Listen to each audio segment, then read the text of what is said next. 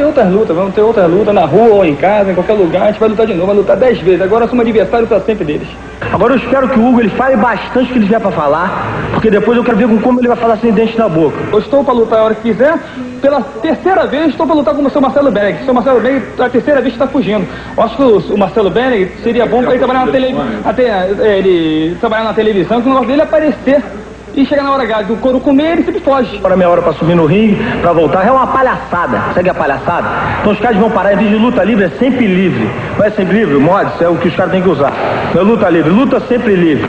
Eu quero- Eu sei que eu vou quebrar a cara dele, né? na serra. Vou quebrar a cara É bom dele e vai ser a luta, é uma carne de galinha, de pescoço de galinha mesmo. Vou pegar e vou massacrar.